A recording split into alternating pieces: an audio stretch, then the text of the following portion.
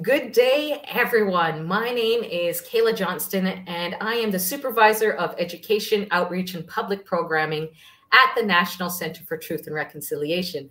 And here I will be our host for this NCTR dialogue on the land back movement and what that means or potentially doesn't mean when we reflect upon that around the idea of truth and reconciliation.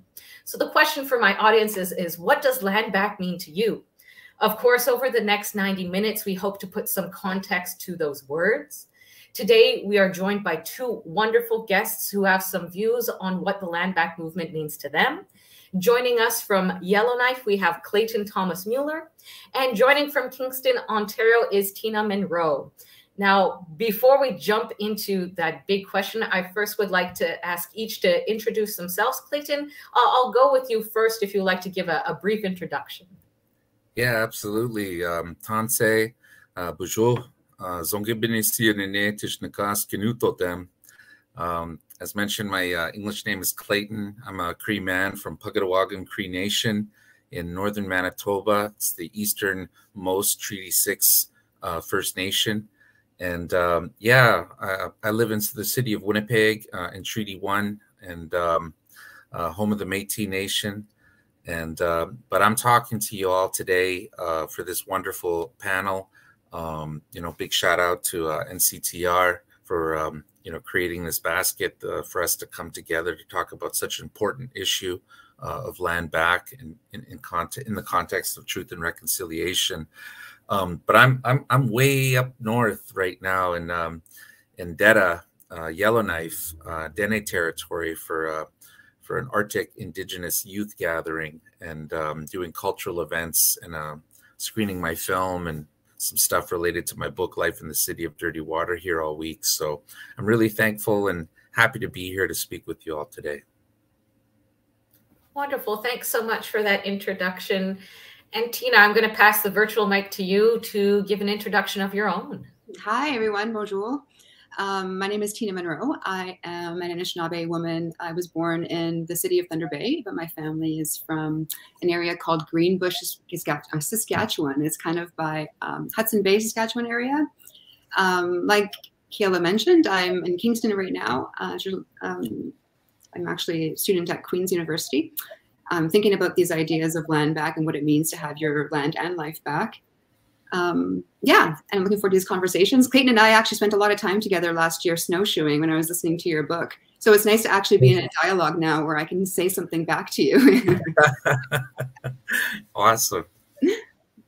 I guess that's the thing with podcasts or audiobooks is we get the one way listening and it's so often we want to answer back so i'm glad we're able to give that opportunity for that dialogue a little later in our program today so I wanted to remind everyone who's joining us that we are going to be doing about 20 minutes each for each speaker and then a panel and then we open it up for q&a questions from the audience.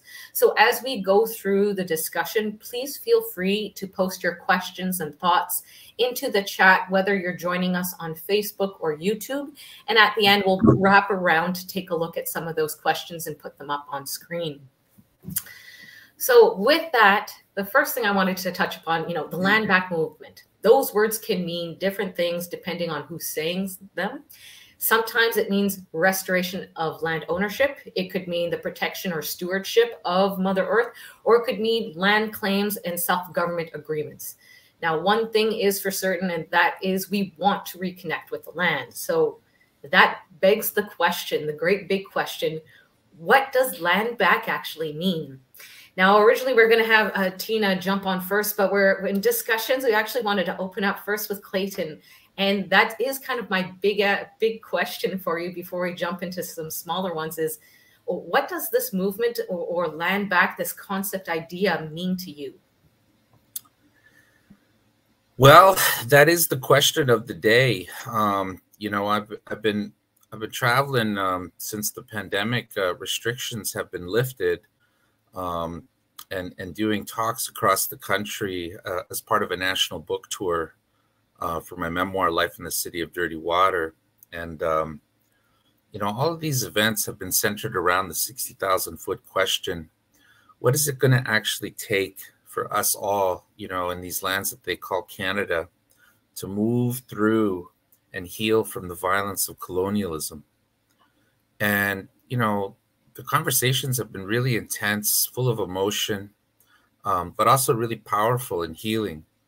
And, you know, as a father, I've been really moved, uh, especially when other Native fathers come to me after the event and we can just have real check ins about the challenges that we face, you know, in this modern time.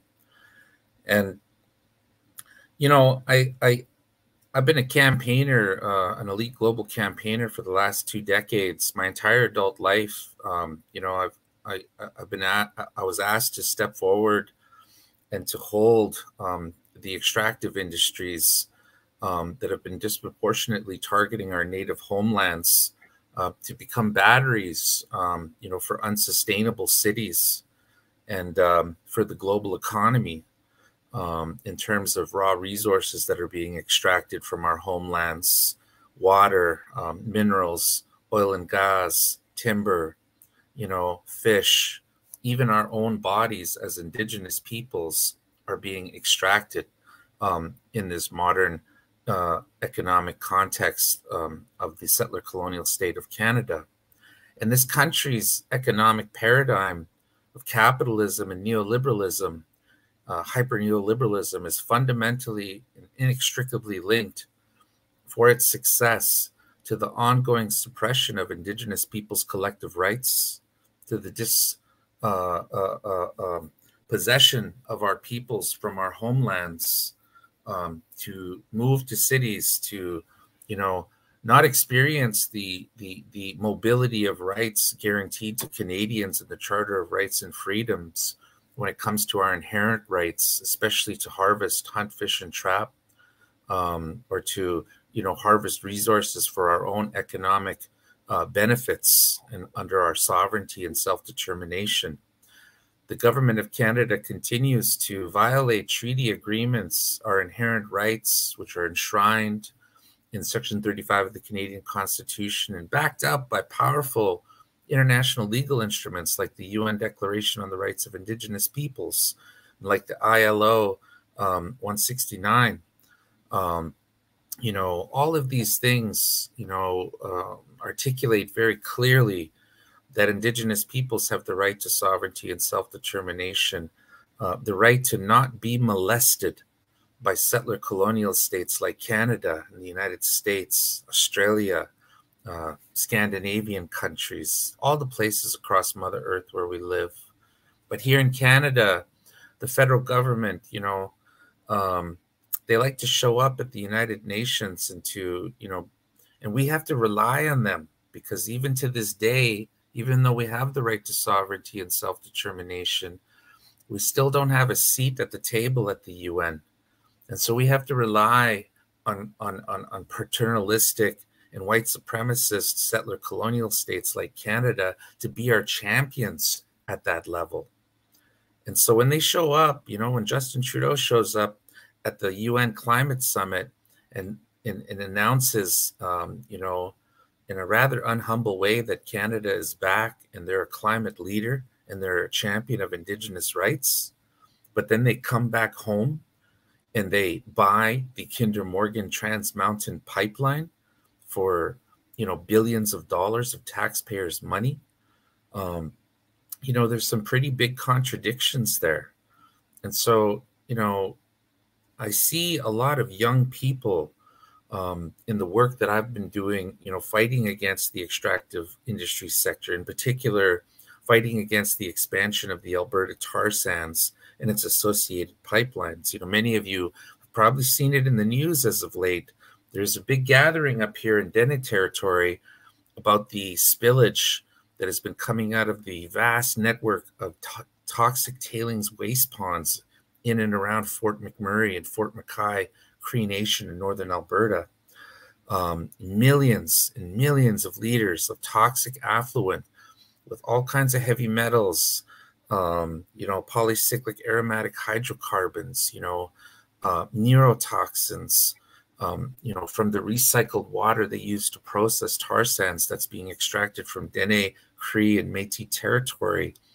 You know, the biological contamination um, um, at a massive bioregional scale that is happening in a place that represents probably a third of the fresh water available on Mother Earth um, is absolutely terrifying.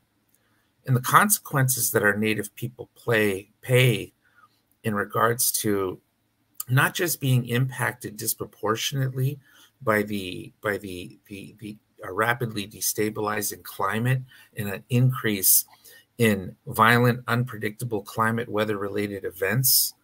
Um, we're also impacted by those industries that are driving climate change because of the proximity of these industries to our communities and to our food and water sources. And so, you know, when we talk about land back and when we hear, especially, you know, those that are the tip of the spear of social movements uh, of indigenous peoples fighting for sovereignty and self-determination, you know, it's youth and it's women, you know, who carry the disproportionate weight, uh, the disproportionate work, um, and the disproportionate emotional labor um, when it comes to the current circumstance. And there's a lot of righteous anger um, and frustration um, that not just women and youth uh, from our communities are experiencing and expressing through the land back social movement. Um, but, you know, there, there's a lot of, uh, you know, it's very justified um, because of the ongoing contradictions and hollow apologies and lack of tangible and meaningful actions to level the playing field between Canada's most marginalized population and the rest of the country as we deal with the existential threat of climate change, of pandemic, and especially of the emergence of probably what's going to be the most devastating economic recession globally that human beings have ever faced. And so, you know, all the while, you know, this has been a hard year to be a Native person in this country. You know, with Kamloops 2015, and those unmarked graves, you know, well over 10,000 now, with the numbers only to increase as ground penetrating radar investigations continue at the over 130 residential schools. Violence in our communities which is directly tied to the government's austerity agenda, the liberal Trudeau government. You know, they're making it so bad on the reserve that our people are, you know, poverty, cash poorness, you know, it breeds violence, it breeds terrible things.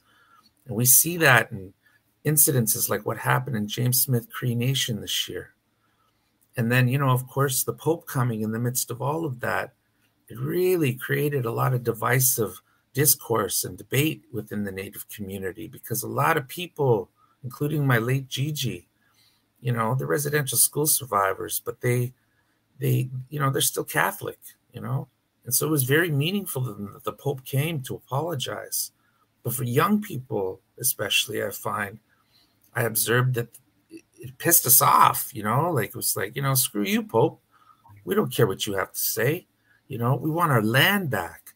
The Vatican is one of the biggest holders of land here in Canada and across the world over. They're one of the richest organizations there is. They're their own country, they're their own nation state right there in the city of Rome, the Holy See, they call it. You know, and if the Pope was serious uh, about reconciliation and the truth, the Vatican would return all of the land that they have in their holdings to the rightful indigenous nations that those lands belong to. You know, return those those deeds of assumed title.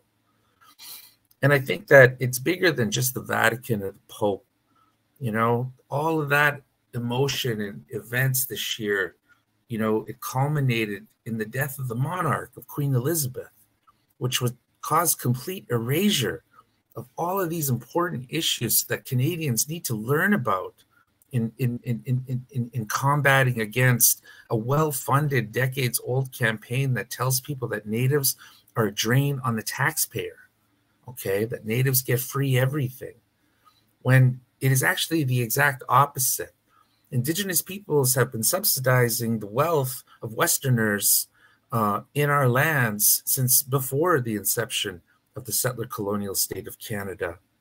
Because of white supremacy and um, because of the papal Bulls and the doctrines of discovery, you know, settlers, uh, uh, uh, you know, they, they, they, they, they've been able to accumulate a lot of wealth, you know, which is passed down through inheritance to their families through generations.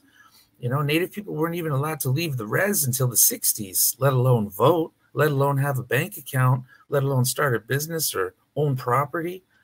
Um, and so there is a righteous rage, I believe, you know, um, because Canada is a corporation, you know, and and and because of the fact in their very racist, you know, apartheid white supremacist sort of way, you know, they hold all of indigenous, all of Canada is native land. Okay, whether it's Inuit, First Nations, Métis, you know, everyone in between. And whenever that Canada needs to get a loan from an international private sector financing institution or public institution like the world, well, not the World Bank, but you know, a lot of these institutions, um, you know, they get as much they can they can borrow money down anytime they want because they hold our land in trust. Okay. Canada's whole street credit in the G8 gang of climate gangsters is based on the fact that they are profiting, you know, that they're using our land, our resources, our climate, our bodies that we know aren't actually ours. We just take care of them. They use that to become one of the richest economies on the planet. And Canada tries to sell itself as an energy powerhouse, a superpower, you know, that when in reality, all Canada is is a resource colony to military superpowers like China, like the United States, our biggest trading partner through NAFTA, and like the European Union through our free trade agreement with them.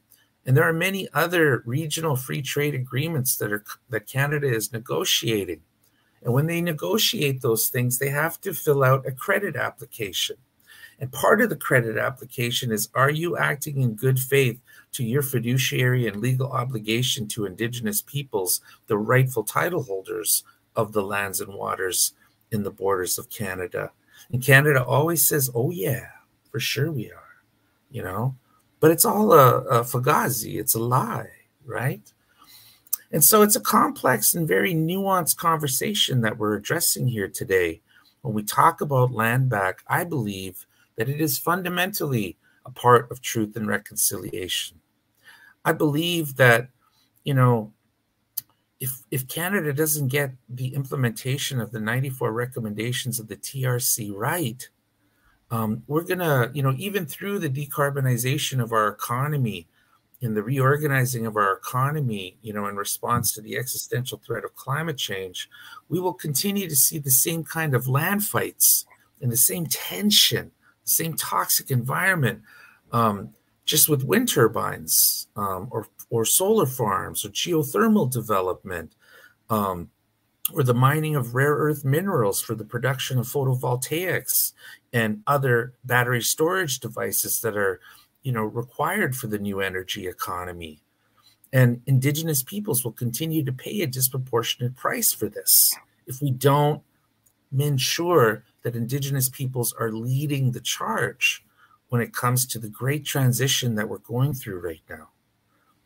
You know, the fact is is that the global there is a global scientific consensus on the fact that we've only got 10 years to decarbonize our economy to stave off the worst impacts of climate change. And they announced that 5 years ago. And so we have five years to turn off the tap. And meanwhile, the Canadian government has just approved a 300 uh, million uh, barrel per day or ton. I, I don't re remember the measurements, but a massive LNG facility in Kitimat, uh, you know, which ironically is owned by the local uh, First Nation. Um, Canada is still pursuing the Trans Mountain Pipeline, which costs have ballooned more. You know, they spent enough money now on the on the trans on the um, Trans Mountain Pipeline to pay for ten years of universal mental health care for all Canadians. That's how much they spent on this climate carbon bomb, which is going to cross thousands of salmon producing rivers and streams in so called British Columbia. And, you know, it's the same story right across the country. You know, whether it's hydroelectric, you know, the renaissance with hydroelectric development or with um, mining, you know, high carbon intensive industries. You know, people think mega hydro is a climate friendly energy source, but it is the number one source of methane emissions, according to the government's own federal agencies. A, a greenhouse gas 29 times more potent than CO2. And so, and you know, and Canada's still cutting down all the trees in the boreal forest and in the Great Bear rainforest, critical carbon sinks uh, on a planetary scale in the, in the fight against climate change, critical ecosystems for our people, and the intact fishing economies that still exist in those territories. You know, I have a big dream about reconciliation, you know, and truth. You know, I, I dream that that in my lifetime that the dams that destroyed the highways of my people that they would get decommissioned because the crown corporations like Manitoba Hydro will, you know, they're building new dams not because we need that cheap hydroelectricity. They're building it because they want to be the next tar sands. They want to be the next Exxon, Shell. They want to, you know, charge up all the EV charging stations across the country and continent that are being built in response to the forced technology transfer of public and private fleets from fossil fuel combustion engines to EVs. And I believe that, you know, as part of reparations for colonization, part of reparations for destroying our rivers and our fishing economies, that those EV charging stations should be owned by First Nations in the spirit and intent of the treaties of truth and reconciliation because that's forever money.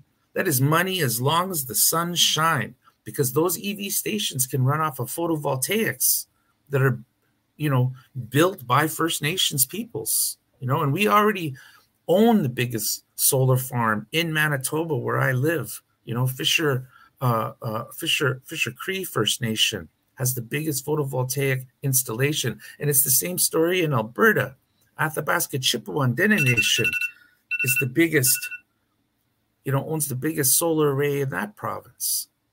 The biggest challenge that we have right now is that we have to, you know, share our stories. We have to unlock the potential in every single human being, not just our native people, certainly not just the youth and women that are leading our movements, but all Canadians um, to become politicized on this issue um, and to understand that land back is not a bad thing.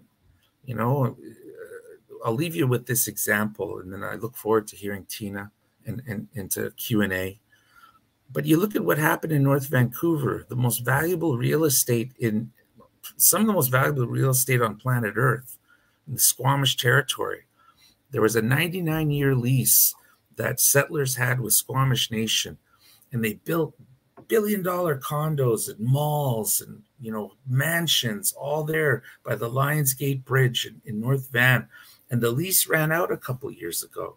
And the white people freaked. They're like, oh my God, the natives are coming. They're going to send us back to Europe. Oh. And, and Squamish was like, yo, this ain't no thing. You're just going to pay us taxes now. Shit, we'll take care of the roads. We'll take care of your mall. You know, it's all good. And now Squamish just announced thousands of new housing units that are being added to a city that has a housing crisis. And there's components of social housing built into their housing development, unlike the greedy capitalist developers that have been developing the rest of the city.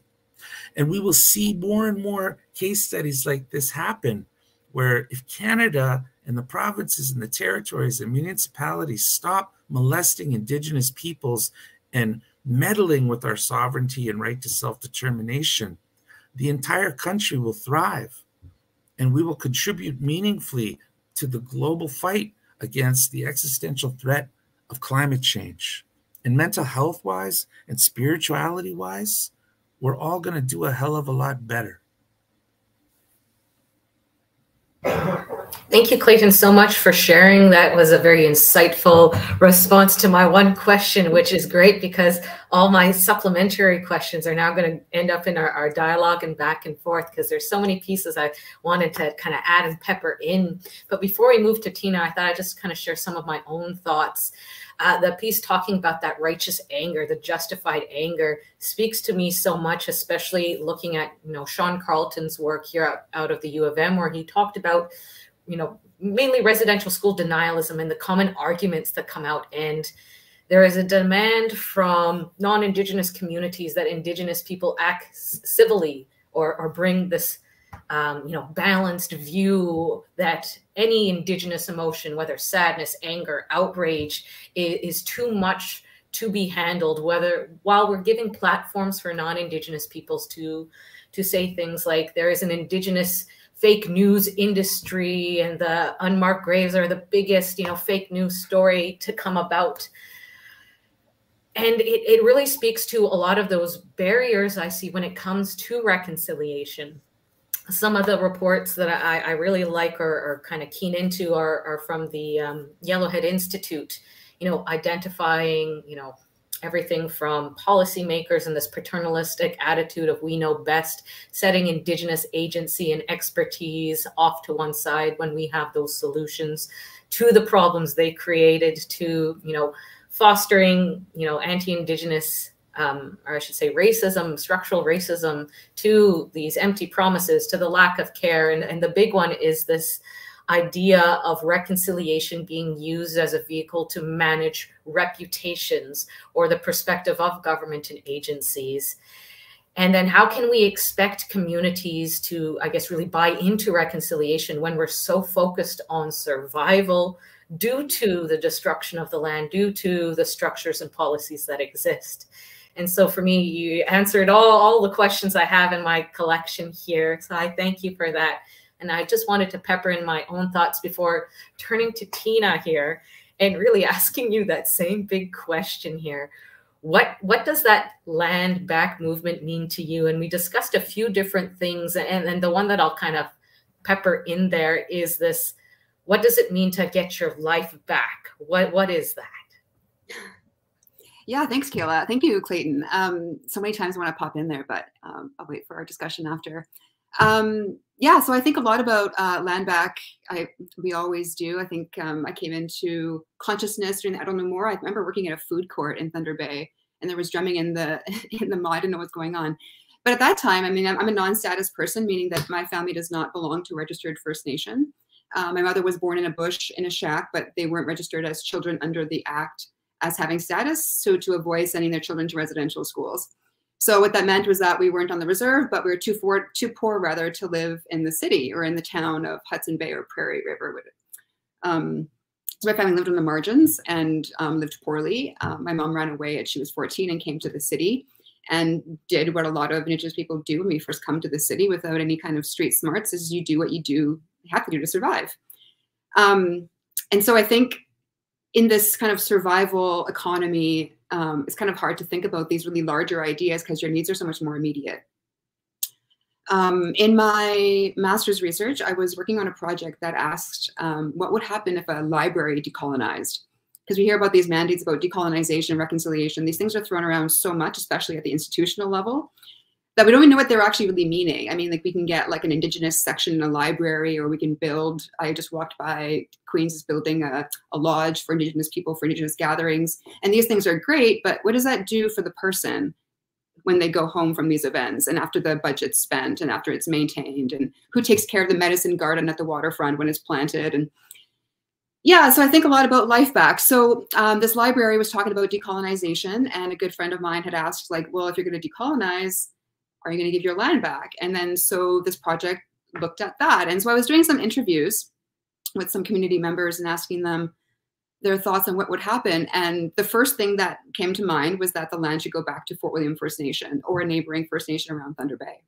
So we were meeting in the library. This was before the pandemic.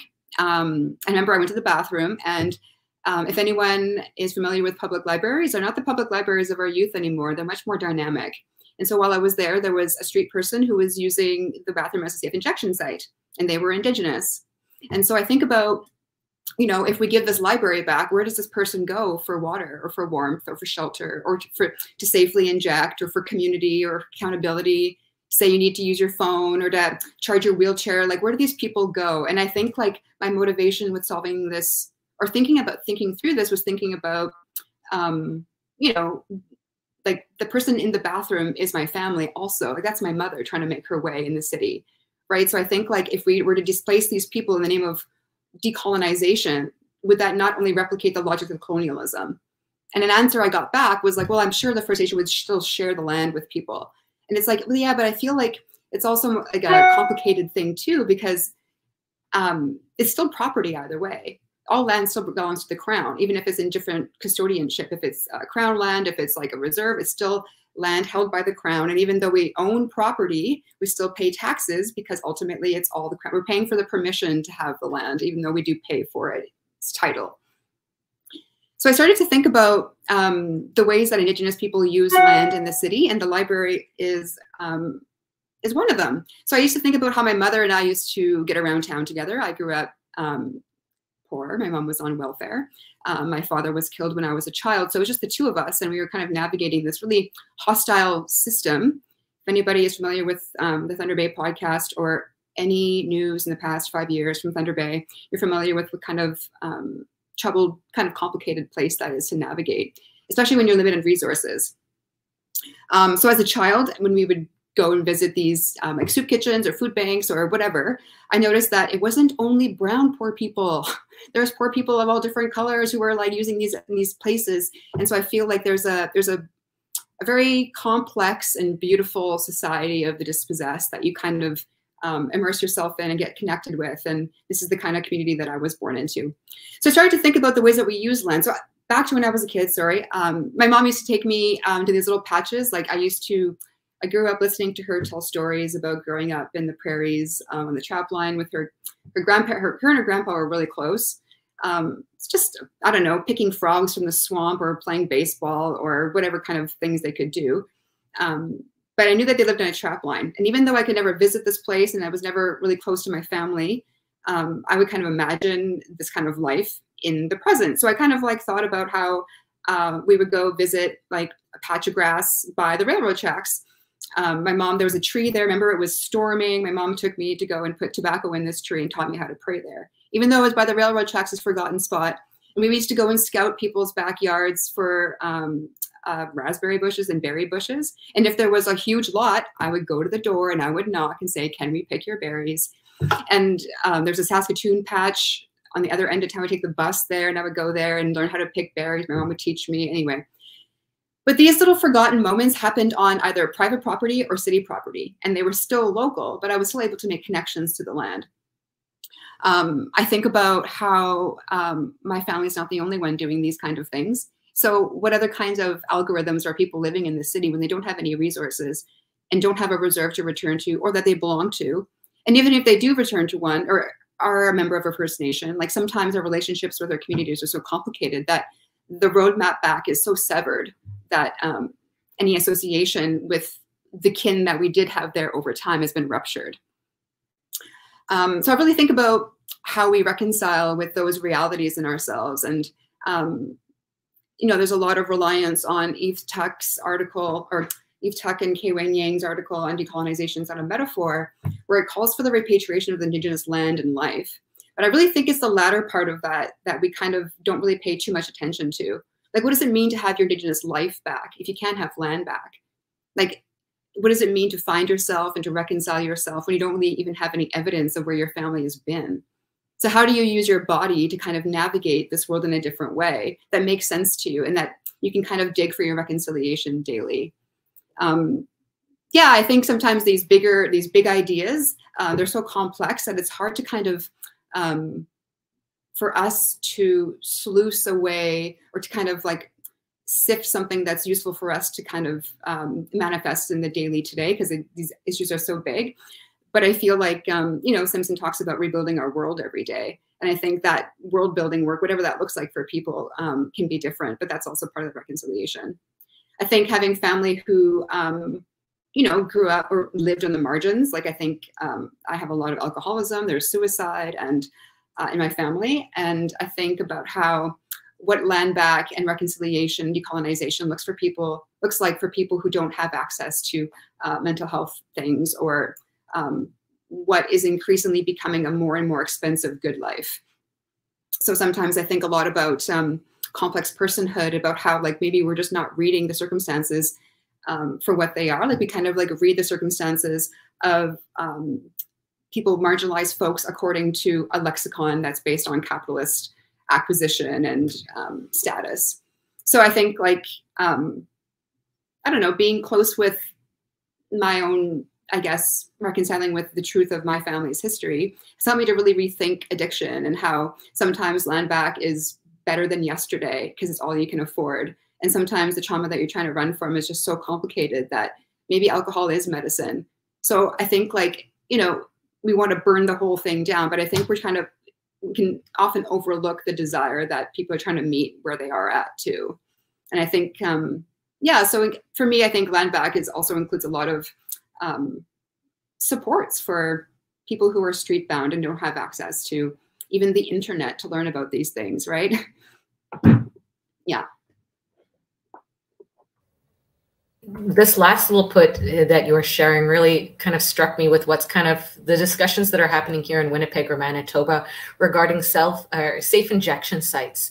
So the the provincial government has made a little bit of an about turn with this idea of providing um, licenses for these sites on what they could do, what services they could provide, et cetera. But again, we're looking at it from this perspective of abstinence as the best course of action without actually understanding what why those safe injection sites are important or why it provides those services and how it is although seen in a negative light how it is um, providing a little bit of that safety net and support that communities need to potentially yeah, continue on living. And that's what kind of stood out for me. And for this last little bit I, I was kind of wondering you know through this exploration of, I guess, can, can land back movement give back an identity that's been stolen or erased?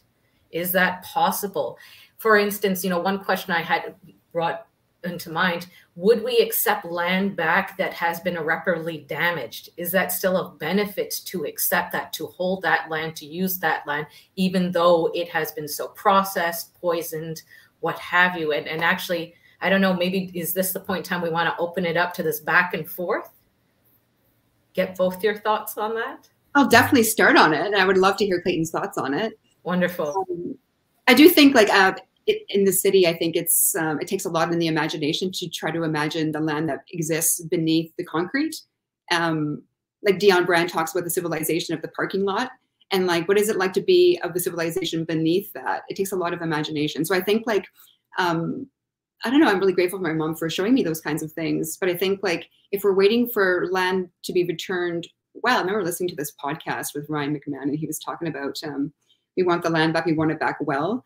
I don't know if I, we can have that kind of like necessarily like stipulation on it. Like I feel like if my body is also land, would I not be wanted on that if I was whole and well also? Like, and I think um, our treaty relationship isn't with, you know, land as it was then or is now or is in the future. It's just with land in general and all the ways and the complex ways that it manifests.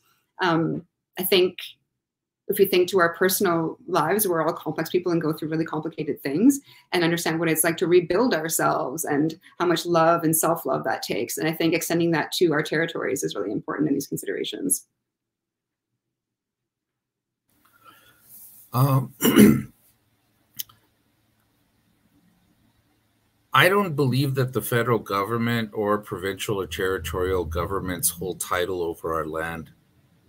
I think that that's their interpretation of the relationship right now. But I know in my heart and in my mind that our people, our leadership have specifically not engaged in a deep way in the Supreme Court over treaty rights and inherent rights in the way that our relations have with the U.S. district courts, um, you know, in the 40s and 50s, where horrific precedences were established over Indian law and the fiduciary and legal trust relationship between tribes and the United States of America. Um, I think that both sides here in Canada have kept it super vague, and that's why they don't come in and just shoot us when they're trying to steal our land.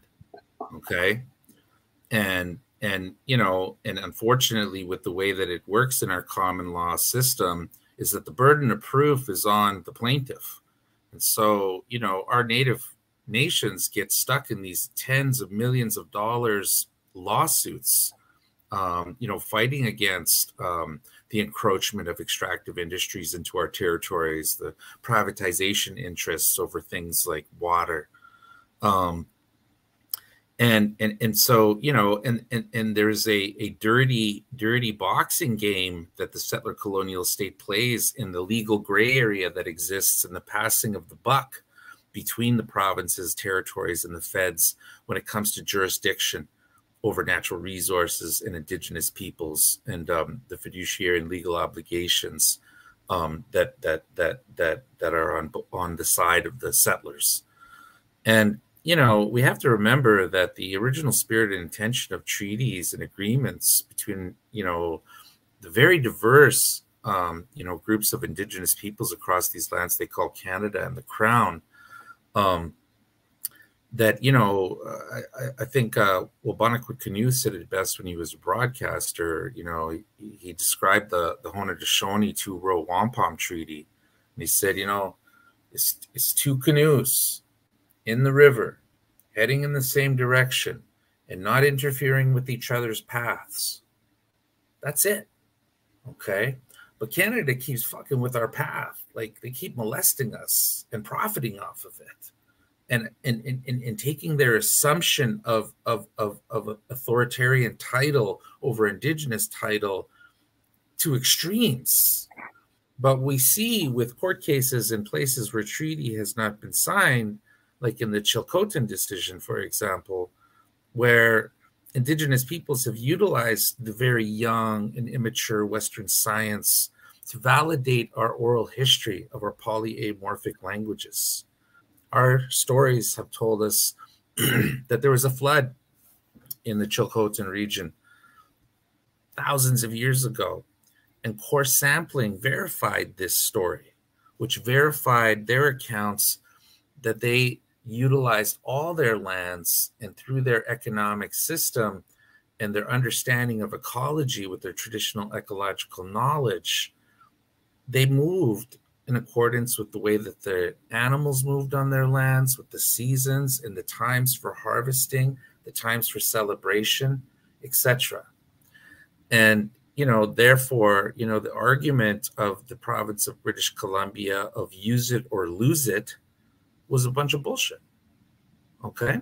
And this goes right across the country even in the treaty territories, you know, I often get into it with my relations in BC and other non-treaty areas of, of Canada when they say, we never signed away our treaty rights or our land. You know, neither did us treaty Indians.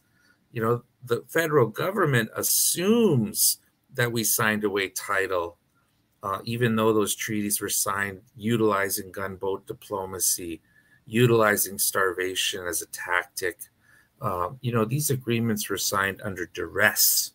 Um, but even still, there was tobacco burnt, there were fasts and water and food sacrificed, there were sun dances and flesh offerings, there were great offerings into the lakes and rivers and streams, tobacco, cloth, beads, choice cuts of meat, berries, all to ensure that us right now would have the power to be able to do what we're doing right now in terms of the land back movement, the implementation of the 94 recommendations of the TRC, and you know, leading the fight with our knowledge of our of our sacred circle of life, or what they call the biosphere, our traditional ecological knowledge in the fight against climate change. And so, you know, I think the you know in response to Tina too, I really wanted to say there's a lot of you know our people doing the work of the colonizer these days. You know the the the colonial mindset. You know there's a lot of classism that exists in Indian country.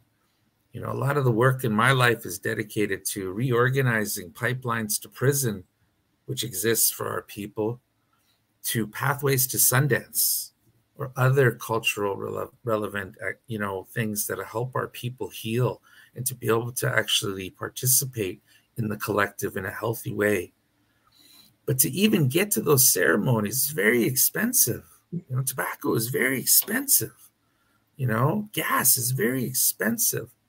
And Indians be hella snobby these days. You know, you get some of these bougie Indians, and they're like, they, you know, they'll trip out on a native if they had a drink the night before, they smoked a joint, if they try to come to ceremony for healing, you know, and they use protocol to create boundaries. When there's no mental health infrastructure in the cities, you know, to get our people, you know, who are, are affected by the meth epidemic, you know, who are affected by the fentanyl epidemic, you know, these people need serious, serious uh, mental health supports and intervention, just so that they have the, the, the, the spiritual and emotional capability to even go and fast or sit through a sweat lodge or go to a Sundance, you know?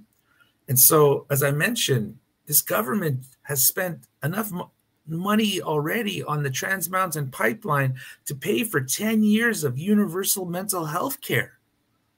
And, you know, when we look at post traumatic stress disorder in the Native community, you know, and I, am part of that too. You know, both my parents went to residential school. I was the first one in my family not to go. And, you know, we all have this thing called in intergenerational resi Indian residential school syndrome. It's a very unique type of post traumatic stress disorder. And the only kind of cognitive psycho based therapy that's helped me not be a complete drug addict and alcoholic has been radical ERDM therapy, which is not covered by Indian Health Services. And it's $300 a session. Okay. And, you know, I, I believe that a part of reconciliation is that we got to turn the cart before the horse. So we got to talk about reparations part of reparations is that every Indian in this country should get multiple generation money and, and, and, and, infrastructure and supports, especially mental health, so that and, and never have to worry about, you know, things that people without money have, you know, worry about because we never get a chance to breathe, to be creative, to to dream. Because as Tina talks about, you know, the austerity agenda of the government makes it so horrible in our communities that we're just trying to fight to stay alive you know? And half the time we're self-medicating and with the with the pandemic killing the flow of safe drugs you know we've got all this crazy chemical shit coming in from china fentanyl synthetic fentanyl and it's killing people. There is a crisis here in in, in the yukon and in the northwest territories especially in native communities, people are dying by the thousands, you know, because they're trying to kill the pain, you know. And the opposite of, of, of, of, of, substance dependency is not sobriety, it's community, it's belonging to community. And so, you know, yeah. So, yeah. Before I throw in my, uh, you know, next questions, Tina, do you want to have a response? Any other thoughts you'd like to add there? Uh, yeah, I think um, I think reparations is a really important part of reconciliation. I think that was, um, I think one hard thing about reparations though is I think is learning how to quantify our pain and put a number on it. I think that's an infinite number, and I think that's also a dangerous aspect of relying on economic in, um, interventions for for healing because it does have its limitations. Um, but I do, I don't understand how else people who are already barely making it on the margins are supposed to pay for therapy. Like I feel like, of course, these these these things are really important for us, but yeah, they're really inaccessible for um, by and large for communities. Or in my case, a lot of them are like for status people. You have to have a status card to be able to access certain services or certain communities, or even um, Clayton, you're talking about the the Nietzsche elite too, you know, like sometimes I feel like the First Nation clubs are also really intimidating to have to bust through too. Like I feel like even coming from Thunder Bay and even in through my path and becoming a graduate student, like learning how to have a voice when you grow up in a place that keeps a plastic bag over Indigenous life is a really tricky thing to have to navigate. And I think like people talk about imposter syndrome. It's like, no, no, it's not that I'm shy that my dad's watching. It's like I'm worried that Canada is going to have some kind of critique all the time of anything that comes out of my mouth. So I think, um, yeah, I think it's complicated. I do think um, the money question is really complicated too, because as soon as Canada witnesses a money transaction, it's that's good. Or they can't think of the 60 billion as like the number that rings in their head, and they can't really um, relate to how much that can't really accomplish because they don't really understand the the depths of of the terror and the violence and the trauma that we've survived that's in our in our blood and our bones. So that's really a tricky thing. Um, that's why I think it's important not to let the state off the hook ever. and yeah, I think the you mentioned also the um, the limitations of geography too, about how like there's reserve land and city land, and I think that's also a really important part to think about too. It's like these are imagined borders too, and I think our imaginations keep us like locked in these territories, and even in our land acknowledgements and our communities, we claim that we belong to a certain place, but also we forget that, like that we're also products of these contexts too that we have to really think about. Yeah, uh, just real quick on that, you know, I, I think we have to be more expansive. You know, when I talk about the money question, I completely agree with what you're saying, and I share the same concern. But I'm talking about, you know, you know, I mean, we have the comprehensive and specific land claims process in this country. And in most uh, provinces with the Natural Resources Transfer Act, we've got urban reservations as part of the, the specific land claims process, treaty land entitlement. And we have economic opportunities, um, you know, to create industry, to create um, textile manufacturing in response to climate change, housing, um, battery storage, wind turbines, photovoltaics, all of these things. We can do this in existing urban centers in our own tax-free business development zones. We have the capabilities to take care of ourselves as long as Canada stops freaking molesting us. Um, but to get that extra jump to just to get to that place, we need that intervention right now um, we need Canada to honor its fiduciary and legal obligations, and we need um, Canada to demonstrate sound analysis in terms of just transition in regards to climate change. You know, Indigenous communities, workers whose lives are dependent on the fossil fuel and other high carbon intensity sectors, these people need to be first in line to the new economy.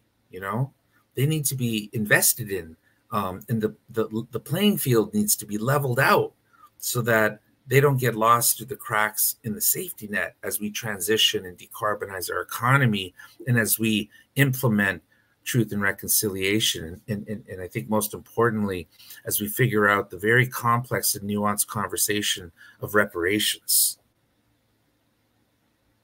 oh and and I would say that there's a really comp the land claim stuff is is is really challenging, and that's one of the most divisive things.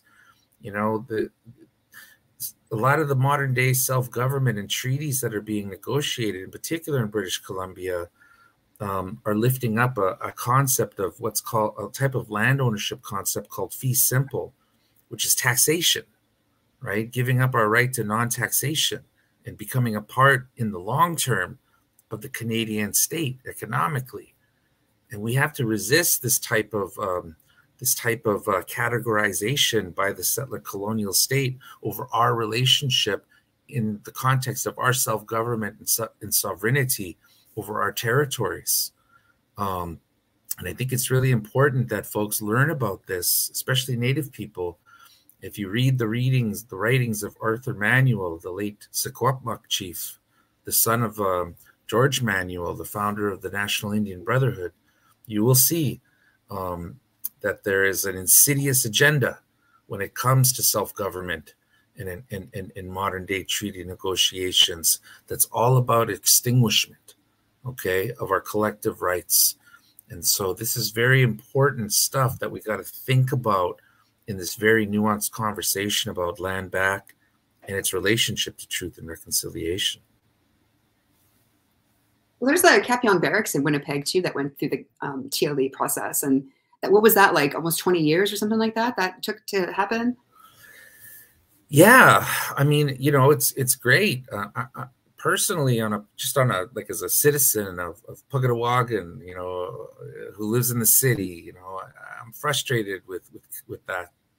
I think that we have to have more vision as indigenous peoples. You know, we don't need more hotels and malls in Winnipeg. We need to utilize that land to build up our, our economic self-determination. And we don't need to do that in a way that's refining oil or like, you know, exploiting communities or, you know, doing violence against Mother Earth through unsustainable industry. We can position ourselves as indigenous peoples to, you know, create jobs, not just for our people, but for all Canadians in these treaty um, land entitlement regions like Kapyong Barracks and, you know, create manufacturing sectors, you know, because the, the, we're talking about millions of jobs here just to transition Canada off of fossil fuel into, you know, uh, uh, retrofit existing infrastructure, and never mind the building of new infrastructure to be climate zero carbon friendly, right? And, you know, the opportunities for us as Native people, um, you know, through this frame of reparation and through this frame, you know, because it's not just the government who who owes reparation to the Native in Canada, it's these companies, you know, these corporations too. They're not getting let off the hook, and it's the Vatican and all the other churches too. And we're patient peoples, you know, very diverse and different, but we're very patient and we're very strong and we're going to be here and see this whole thing out. We'll be here long after Canada. So, you know, yeah, that's, I, I, I hope there's some really powerful things, visionary things that happen um, in the, in the urban reservation there uh, uh, on Kenaston in Winnipeg and Treaty One. All right, I'm to jump in for one last question before we move into kind of the q&a we, we've been seeing some questions come in quite a few. So before we do one, one thing that we wanted to tackle was was this kind of idea or thought about how, how do we mobilize our indigenous peoples our groups together to come behind and support some of these things given some of those challenges that exist from getting them to participate getting them to a point to want to participate Two things say, you know, the right wing extremism push that we're currently seeing in Canada and other um, countries across the globe, actively suppressing peoples and suppressing these movements. So I thought, what what is your idea? How could we best, yeah, mobilize this effort to put, you know, as you said, you know, get gets beyond words alone and get action happening. I think that like the the two things that I think are most missing in so many circles everywhere I go are care and curiosity. I think that we're lacking curiosity about each other in a really intimate way. And I think intimacy is a very scary thing in this age of individualism. Um, ask somebody how they're doing and watch their eyes dance before you because they don't know how to answer a question in such honesty. It's so unexpected in such a fast paced world um, I think being curious about each other's lives, about our desires, about our lives, about what we're thinking about, what we're wanting, where we've been. Um, I think just having conversations. Like the one thing that I take away from living in northern Manitoba is sitting at kitchen tables with women and just talking our brains out about everything and theorizing and coming up with stuff and just um i don't know being equal right yeah like it's so simple and i think like um, we're just so busy looking at our phones or waiting for the Wi-Fi to kick in or trying to solve these huge problems. Like even I was in a, a social justice class and it's like, well, how are we going to change things? It's like education. It's like, okay, yeah, sure. Education is a huge umbrella that is really whatever. So like we're going to think about education for 90 minutes and get exhausted and never think about it again. What specifically little thing about education can we do in our world today? Or how can we educate ourselves or find little ways to break it down that make manageable steps? So I think um, we think about these Brigham Bowler things and then we just go back to our phones. So yeah, I think just being curious about our situation, how things are making us feel. I think that's how we develop our empathy. Some of us have forgotten our empathy for other people and um, just not being too proud to ask. I think like you know, that woman who was using at the site at the library. We are all that women, that woman, but we forget that because individualism and capitalism has us like so far away from remembering our humanity and our desire to escape our pain, which is a universal thing. Um, yeah, I think just the, I don't know, even liberalism has this like, loves looking at itself in the mirror and thinking that everything's going to be okay if we can just throw some more money at it. If I can do it, you can do it too. But it's different when you come from um, really different circumstances where, um, yeah, just your access to these things aren't equal. And even when you do get there, you're never going to be the same anyway. So I mean, like it's it's it's forever just a, a dead end for me. Um, has to be something a bit more radical. And I think um, I don't know. For me, radical kinship is really important in that way. And I mean, like Leanne Simpson talks about land as aki and Anishinaabe but also how it represents place, power, and relation. So how do you restore your place, power, and relation in your daily life and in your relationships? Well, that's a big question, you know, um, that I, I, I, you know, it's like, how do we solve climate change, right? Yeah. Um, um, whatever whatever the answer ends up being, I do believe um, that it's tied to the sacredness of place. Um, and that's not just for the native, you know, that I think that everybody who lives in Canada needs to learn from their big brothers and sisters, their Indigenous brothers and sisters. And even if you don't accept that, we are your big brothers and sisters. This is our land, you know, and we know how to take care of it because we've been watching it and loving it for thousands of years, you know, and all of the understanding of how to take care of not just our land and water, but of all of the circle of life that we share it with, you know, it, it lives inside of our language, which isn't written. And so the only way to convey that is to participate in ceremony, to go to gatherings, to learn the names of places in the language, to, you know, learn about the history of the people whose lands where you're raising your family is, and to learn about the, the spirits of those those areas, and to honor them, you know, in whatever way that you can, right? But I think fundamentally that people have lost uh, a way, uh, a connection to a higher power, whether that's Kishimandu or God or um, you know some sacred feminine entity or you know, the universe, or even just a tree that you really have a strong connection with when you hike in the morning to take your dog out. But people need to, you know, understand that, you know, in Cree cosmology, we have the Windigo spirit, you know, the cannibal spirit. And when there's imbalance, the cannibal spirit can possess you and, you know, make you eat your own fingers and lips and even your own family and I believe that neocolonialism and you know colonization capitalism has released the Windigo spirit into the world in the form of this economic model that has literally changed the chemistry of Mother Earth in 200 years to a point now where in five years we're going to start to cease our ability to survive in certain parts of the planet because of our rapidly destabilizing climate. And so indigenous peoples play a critical and vital role not just for ourselves to save ourselves, but to save all members of the five fingered nation. Because race is just a construct, okay? And the only thing that makes us the apex species in the great circle of life that separates us from everything else are these little suckers right here. Okay? So we can pick up a mukaman and we can carve a spear and we can kill a buffalo and feed a whole community. You know, we can we can weave fishing nets and catch lots of salmon, feed our whole community. And um, so I, I, I think I think Tina hit it on the head there. You know, we have to keep it simple. And I believe that community self-determination is the pathway to economic, you know, sovereignty and and and and and and, and I think self-actualization of community self-determination is the most powerful thing that we can facilitate um, through our collective effort to try and overcome the the really insurmountable odds that we face right now. Um, but there are tools available for that, you know. And I don't think that there's one big centralized answer. Just like Native people are not stuck in history, uh, you know, in a history book, you know, where things are never going to be the same again. you know, and we are constantly evolving because we were forced to. We are experts at adaptation, mitigating, uh, you know, massive crisis, at migration on a mass scale.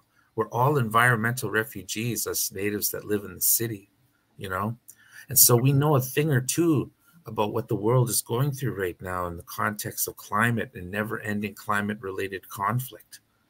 And we can share with people how to move through that in a good way.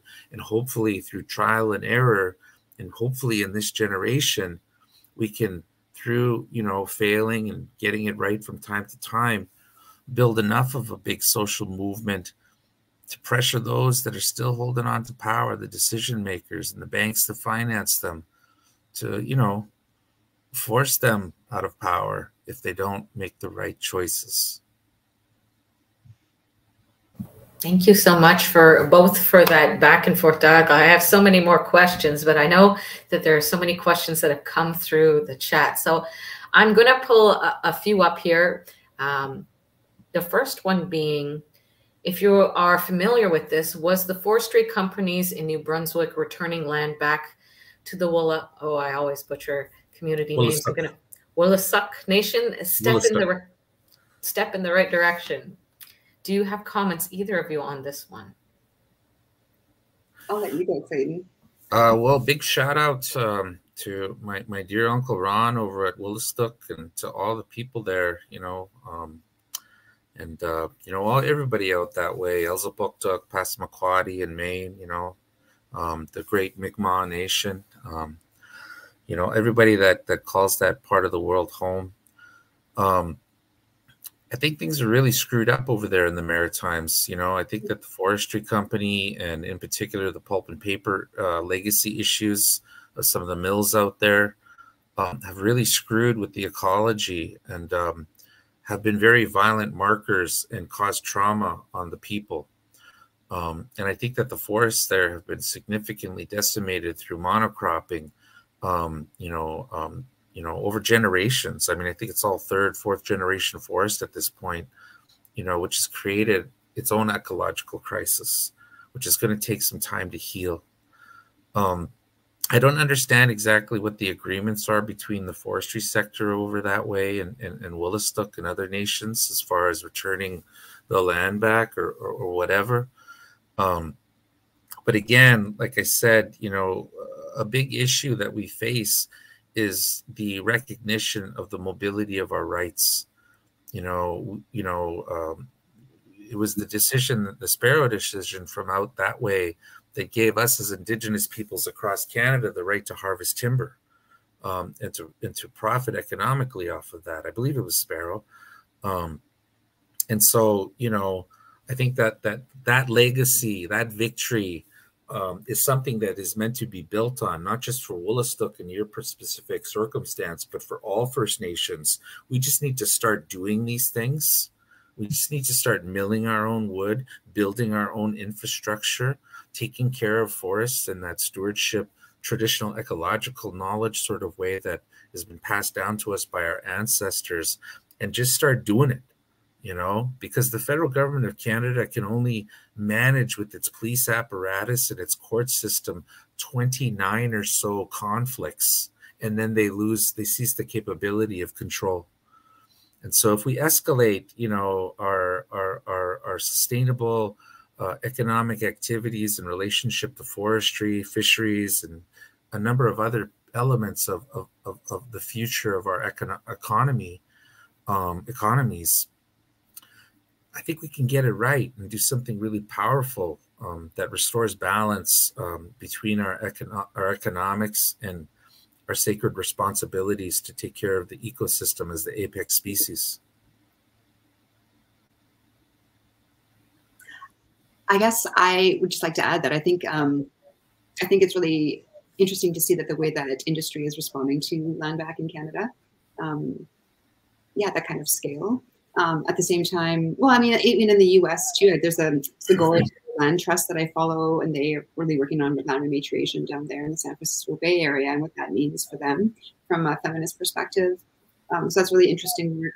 Um, yeah, I think it's such a at the same time, industries are giving back land, but I think given the wealth of industry, I'm a little cautious of being too um, congratulatory over the act of return.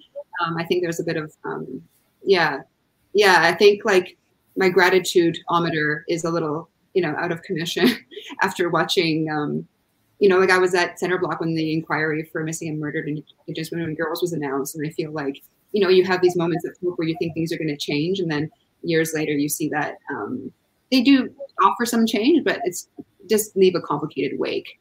So yeah, I think it's good to be grateful, but also there's still more, and I think it's more, more complicated than that. Yeah, I would take it a step further. I mean, fuck that. I'm not grateful for that stuff. I mean, I'm happy if, if Wolastoq has has you know less meddling in their affairs over their land, sure, um, especially by the private sector. But again, I want to encourage whoever asked that question. You know, check out Arthur Manuel's books. Um, yeah.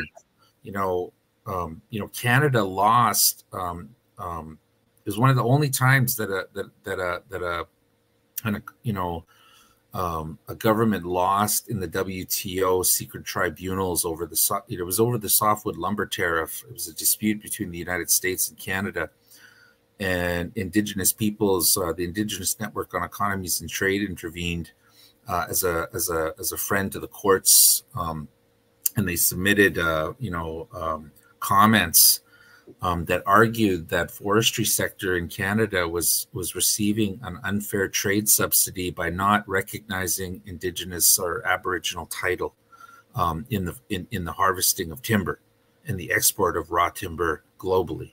That it was an unfair trade uh, subsidy and trade advantage. And the WTO ruled in favor of this Indigenous intervention on this trade dispute between um, the two biggest trading partners under NAFTA and um, you know, so so you know, there's these guys aren't giving nothing back. They've been straight up robbing us. Yeah, I guess that's true too. It's like thank you for giving it back. I mean, you're well. I don't know. Like I feel like I just don't want to play into like the petting yeah. on the back. Like very well done. You did a good job there. Because also like it's also not my territory too. So like for me to express gratitude from Kingston, like yeah, I'm grateful that we're all getting it back. But also like it's so much more than that. So. Mm-hmm yeah. I got a, a, pivot question here. I'll put it up on screen from Dolly. If there was one thing our organization, in this case the PSAC union, could do to be a good ally or accomplice on this issue, what would you suggest? Real quick, um, I just want to give a big shout out to PSAC uh, uh, reps. You know, there, there's a massive labor dispute up here in NWT.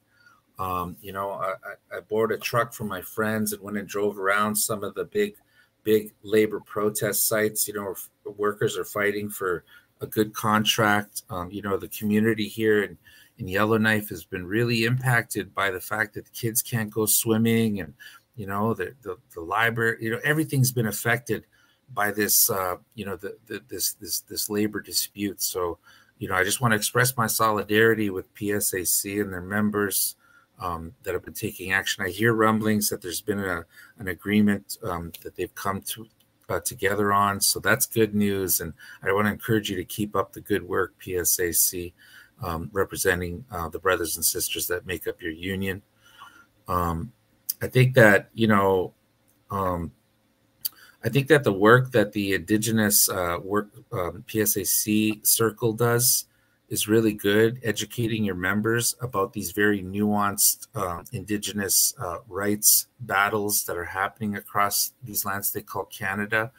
Um, I know PSAC has a, a you know various um, social movement funding um, that you as a union can provide to frontline fights. Um, you know, and I, I, I really want to encourage you to provide those essential services like printing, um, you know, big mail outs, um, you know, uh, straight up donations to the front line of land struggles across the country. Uh, you know, keep educating people about the importance of the UN Declaration on the Rights of Indigenous Peoples. And certainly, you know, all of your locals, if you can continue to advocate in the institutions in the cities where you are based to adopt the UN Declaration on the Rights of Indigenous Peoples, to adopt and implement in their own institutional way the 94 recommendations on truth and reconciliation. This is very meaningful stuff. And certainly, you know, um, um, you know, using your your your your your your influence on um, you know, the Canadian Labor Congress and the millions of workers that comprise that body um, and right up and down the hierarchy of labor across the country and your peers like uh, Unifor and CUPE, um, you know, encouraging them to do the same thing and not wait for an Idle No More moment to do the right thing, you know, to do it every day. You know, you don't just have to talk about residential school and residential school day. You know, you don't just have to celebrate the native on, on the 21st of June you know, these are things that need to be happening on a daily basis because in Canada, 87% of our population is white presenting. It's European settler presenting. About six or seven percent are brown and black, um, you know, and uh, and, and then five percent are First Nations, Inuit, and Métis. So until this stuff becomes a problem in the white community, these problems are going to continue to manifest. You know, we don't live in a post-colonial context you know, neocolonialism rears its ugly head every day in new forms. It's the same story, just different players. So, you know, friends at PSAC, um, help us in that way. I'm a PSAC member, I'm proud to say, as a teaching assistant. So I I do think that um, unions play a great role. I think at, um, union flags are flown at a lot of Indigenous events and ceremonies and commemorations, actually, which is really interesting. Um, but in terms of allyship, I think um, in general, beyond unions, I think the question is really interesting because I think it's also um, a lot of, it just centers on indigenous people, whereas I think like settlers or just white people in general don't think about their own whiteness very often. The question is always about like learning about residential schools, learning about all these issues and like, what do we want? And I think like um, whiteness isn't really asking itself what it's still trying to be and what it's hanging on to and what it's looking for in these kind of reconciliatory you know new age new age like kind of fancy um, parameters. Um, i think you know we got in this mess because canada needed to construct the indian and made these things to eliminate the indians so why don't we talk about why that happened and why that still happens today in our circles?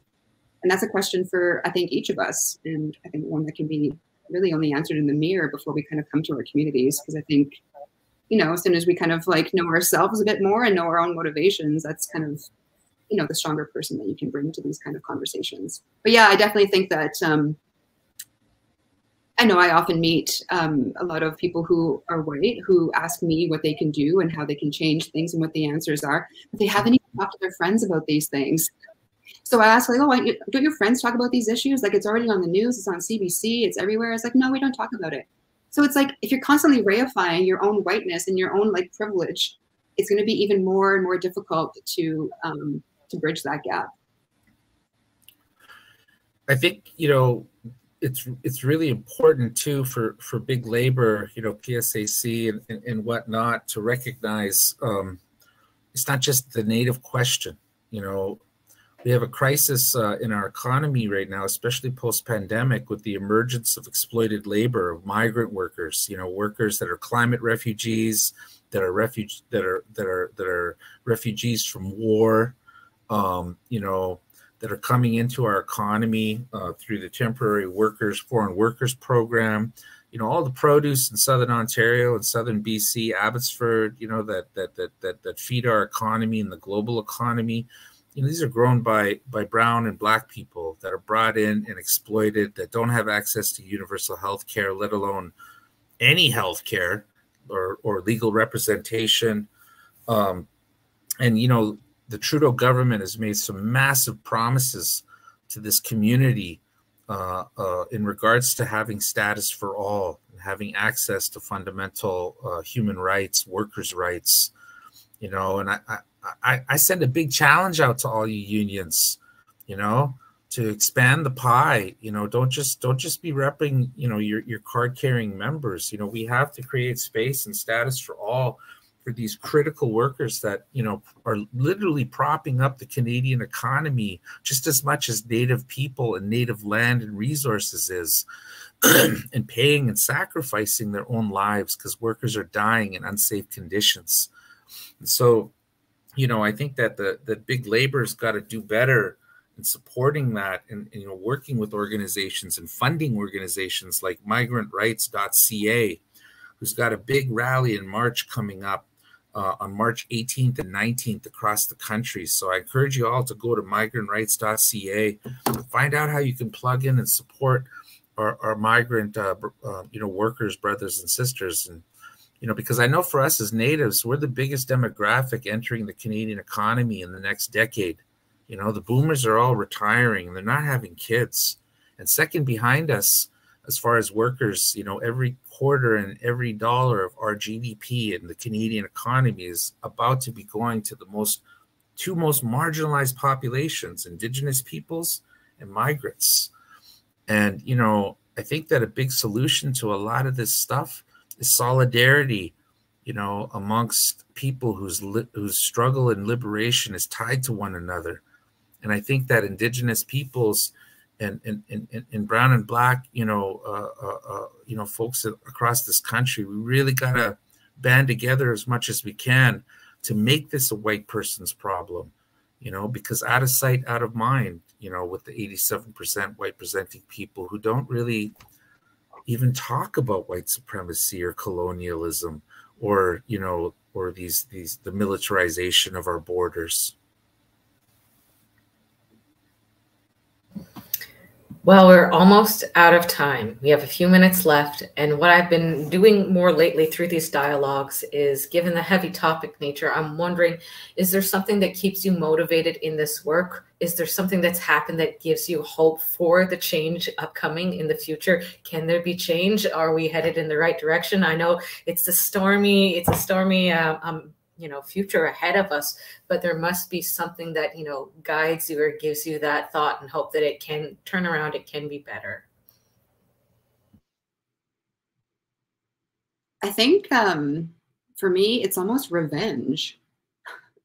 Where i feel like after so much terrible awfuls that happened to you and like loss and grief like at one point you just finally say enough. Like you know and i feel like waiting for these answers and waiting for myself to feel like a true indigenous person even though i'm non-status or i'm lacking these things i feel like um i don't know revenge provides a vehicle for that tenacity to keep going and i think you know i read this article by Beverley Jacobs and it talks about how like the violence of the state is replicated in our homes because the state keeps being violent towards indigenous peoples and it keeps apologizing and it normalizes this cycle of abuse and apology abuse and apology.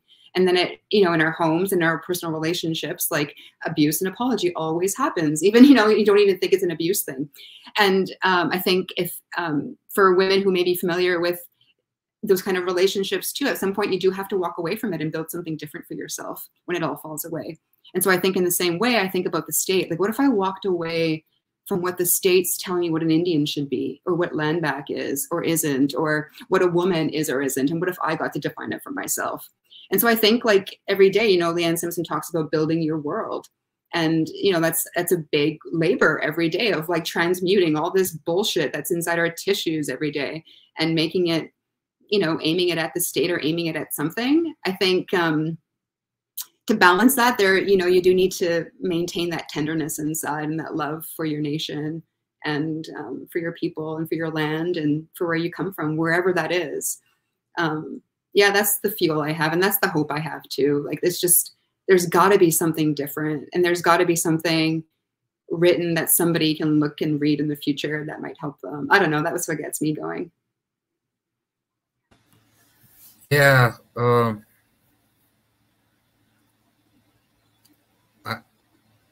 I lived my whole life, um, my adult life, you know, as a as a as a elite global campaigner fighting evil people all day long. And I use this this like really dense, you know, ball of hatred in my stomach for all the horrible violence, you know, that I experienced growing up individ- as an individual.